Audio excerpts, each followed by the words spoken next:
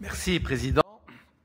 Donc, on va essayer de répondre un peu à, cette problématique de ce matin qui n'est pas, évidente entre les médias et les perspectives d'intégration euro-méditerranéenne. Je pars d'un constat. Euh, on va dire que les médias s'intéressent peu au projet euro-méditerranéen. Ça, c'est pourquoi?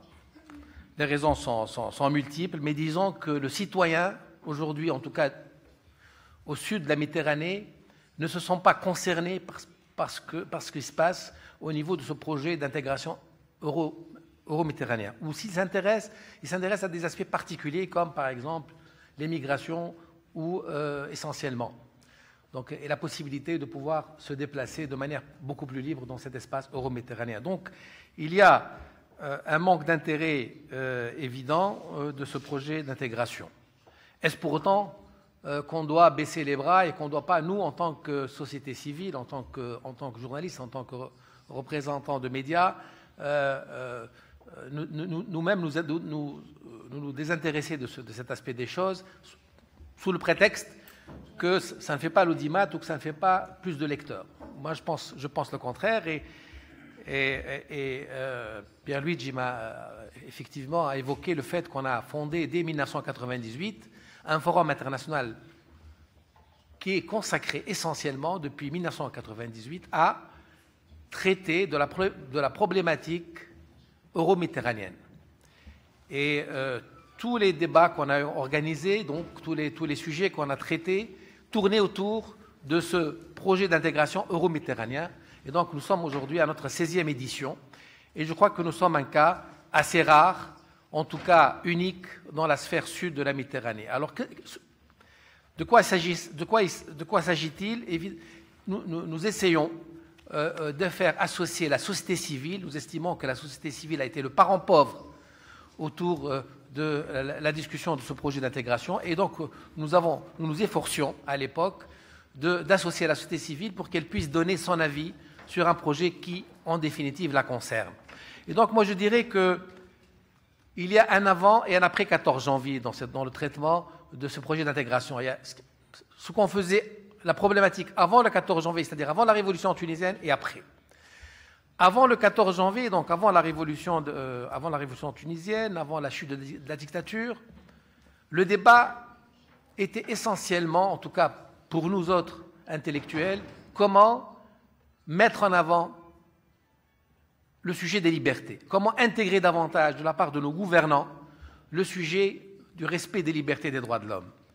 Évidemment, ce n'était pas chose facile, ce n'était pas, euh, c'était même, je dirais, euh, difficile parce que nous étions conscients que, en plus de l'effet bénéfique de cet accord d'association, puisqu'il a permis, et ça on ne le dit pas suffisamment, de mettre à niveau l'industrie tunisienne. Aujourd'hui, l'industrie tunisienne a, tiré bénéfice, a tiré profit de cet accord d'association. Personne aujourd'hui n'en parle. Aujourd'hui, si nous sommes compétitifs, si nous avons atteint un degré de développement en Tunisie, c'est entre autres grâce à cet accord d'association. Personne n'en parle aujourd'hui. Évidemment, l'aspect humain, l'aspect droit de l'homme a été négligé et donc c'était source de conflits permanents entre, entre, je dirais, Bruxelles et le gouvernement tunisien pour, pour devenir, un, je dirais, un, pays euh, avec un accord d'association privilégié. Ce n'était pas possible. Et donc on était dans ce débat-là. Et nous, en tant que, en tant que réalité, en tant que forme d'internationalité, on essaie un petit peu de créer ce débat agité est combien important. Après le 14 janvier, la problématique a changé, c'est-à-dire que la perception de cet accord a changé. Il y a maintenant tout simplement une division des Tunisiens, de l'opinion publique tunisienne. Il y a ceux qui continuent à croire que l'avenir de la Tunisie est lié à un projet, au projet euro-méditerranéen. Mais il y a ce qu'il faut le, savoir aussi, également, beaucoup de gens, beaucoup de partis politiques, et pas uniquement les islamistes, pas uniquement, euh, pas uniquement l'extrême droite, parce que les islamistes aussi, ils sont partagés. Il y a aussi la gauche et l'extrême gauche, qui aujourd'hui veulent remettre en question ce, partenariat. Alors, pour les uns, il faut se retourner vers un partenariat beaucoup plus tourné vers, le monde arabe et que on n'a rien, à on n'a rien à faire avec l'Europe. Et donc, ça, si vous voulez, euh, euh, insinue le fait que ce projet de société que nous voulons construire n'intéresse pas une partie des Tunisiens. Donc on, réfléchit là en termes de projet de société d'avenir pour la Tunisie. Il y a d'autres qui font, euh, qui aujourd'hui vivent mal l'évolution du monde et qui restent un petit peu peut-être euh, accrochés aux idées, d'extrême gauche des années 60 et qui, estiment que ce n'est pas juste, que ça c'est le projet du grand capital, machin, etc., et que ça, ça va mettre, ça va suer le, ça va, ça va mettre, euh, disons, à feu et à sang la, Tunisie, ça va, euh, euh, disons, euh, faire du tort à l'économie tunisienne, ça va être des, rapaces qui vont, qui vont, bien sûr gérer et en tout cas faire, faire main basse sur l'économie tunisienne. Donc ce débat que vous connaissez, qu'il est inutile de, rappeler, et donc qui eux aussi ne sont pas intéressés par ce, ce projet, bien sûr, pour des, pour des questions idéologiques. Donc, le projet d'intégration euro-méditerranéenne revient au centre aujourd'hui du débat en Tunisie. Faut-il et, quel est le rôle des médias et, là, c'est la question à laquelle on doit, répondre. Quel est le rôle des médias dans, ce débat-là? Moi, j'estime que, en tout cas, nous sommes de ceux qui euh, pensent que ce projet d'intégration est pour nous un projet non pas uniquement vital pour, pour notre économie, pour, euh, pour euh, le projet, mais, mais, surtout pour le projet de société qu'on veut, que, la majorité des Tunisiens veulent instaurer en Tunisie.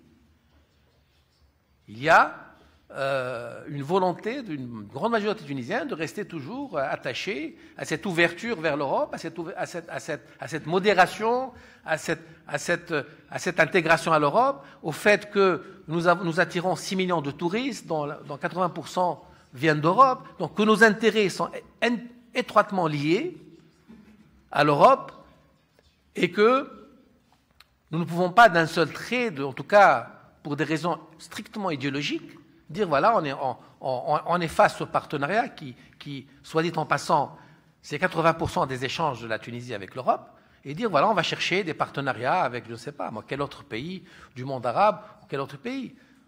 on ne peut pas se permettre cela, et il faut aujourd'hui que l'opinion, notre rôle, c'est de convaincre l'opinion publique. Ce n'est pas de convaincre ces partis-là qui ont déjà, leur, qui ont mais de convaincre l'opinion publique que l'intérêt de la Tunisie, justement, est de s'intégrer dans ce processus euro-méditerranéen. Donc là, je crois que notre mission est encore plus difficile qu'elle l'était par le passé. Évidemment, Euh, je dois être euh, aussi sincère et franc, nous sommes un peu déçus par l'Europe. En tout cas, nous, Tunisiens. Euh, nous ne sentons pas suffisamment, nos problèmes ne sont pas suffisamment pris en compte. Aujourd'hui, il n'y a aucun plan d'envergure pour venir en aide à la Tunisie, qui est le premier pays du printemps arabe et dont le succès de la transition démocratique conditionnerait le succès des transitions démocratiques des autres pays faut-il le rappeler Et que je sais que l'Europe traverse une crise économique euh, dure, sévère, c'est vrai, qu'elle n'a pas les, moyens de son ambition, ça c'est clair, qu'elle n'a pas de projet. Avant, elle n'avait pas de projet pour la Méditerranée du Sud. Aujourd'hui, elle a encore moins parce qu'elle est, je pense, euh, beaucoup plus euh, préoccupée par ses propres problèmes. Mais elle a une responsabilité historique en cette période pour justement euh, venir un peu soutenir les, transitions démocratiques. C'est vrai que nous ne sommes pas aussi, honnêtement, euh, totalement euh, innocents aussi de cette, de cette attitude, parce qu'on a vu, il faut le reconnaître, qu'au début de la transition, au, début du changement, que l'Europe était très intéressée, qu'après les élections du 23 octobre, il y a eu un recul parce que euh, les, signaux, les signaux qu'on donnait de Tunis n'étaient pas très, encourageants pour l'Europe. Ça, il faut, faire notre propre autocritique aussi, hein, si, on veut avancer, si on veut être, constructif. C'est vrai que euh, les, menaces, les, les, attaques de journalistes, tout ce que vous avez pu lire, entendre, voir aussi n'est pas très encourageant, mais je pense que cela n'aurait pas dû être suffisant pour, disons, diminuer euh, l'ambition européenne. Alors qu'est-ce qu'on peut faire, nous, en tant que médias, évidemment, pour ceux qui croient à ce projet-là? C'est d'abord euh, essentiellement de, créer un réseau. Moi, je pense que nous allons bientôt annoncer avec, euh, nos amis maghrébins, et je salue la, présence de Nodine Mefter, qui est le président des éditeurs marocains, pour qu'on annonce, on va vous donner un scoop, depuis Barcelone en juin, la création de la première fédération des éditeurs du Maghreb. Et on, tient à le faire à Barcelone et nous avons été invités par le secrétaire général de l'UPM pour venir l'annoncer en juin. Et donc là, une des missions, je ne sais pas si tu es d'accord, Nourdine, serait justement de créer ce réseau qui militerait pour l'intégration de nos pays vers, cette entité euro-méditerranéenne. Ce réseau est appelé à s'élargir avec, bien sûr, un réseau du nord de la Méditerranée pour créer un vrai, réseau méditerranéen entre nous, d'abord. Et, ça, c'est le, moins que l'on puisse faire, je pense. Évidemment, comme l'a dit euh, Karine, il y, a, les jeunes, il y a la formation de jeunes, et, qui soient jeunes, les journalistes, bien sûr. On doit, bien sûr, euh, aussi bien sur le plan local, mais avec les échanges universitaires des jeunes journalistes dans les, différents pays, créer cet amour pour l'Euromède, pour, ce lien affectif de, l'Euromède et qui pourrait eux-mêmes relier par la suite en étant euh, des, jeunes convaincus.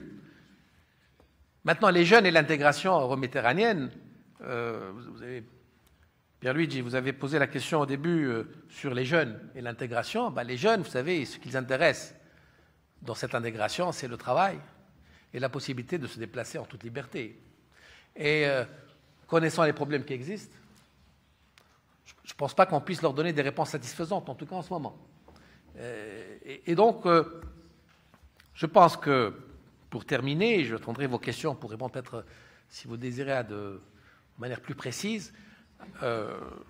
Nous avons un rôle important aujourd'hui parce que c'est à travers ce partenariat, à travers cette intégration euro-méditerranéenne, je pense que c'est, on est en train de dessiner le projet de société auquel nous aspirons tous, en tout cas la majorité des Tunisiens, je parle au nom d'une grande, part de, grande, enfin d'une grande partie des Tunisiens, et que plus que jamais aujourd'hui les, enjeux sont, sont, difficiles et, sont, et, sont et on est prêt à les relever. Voilà, je vous remercie.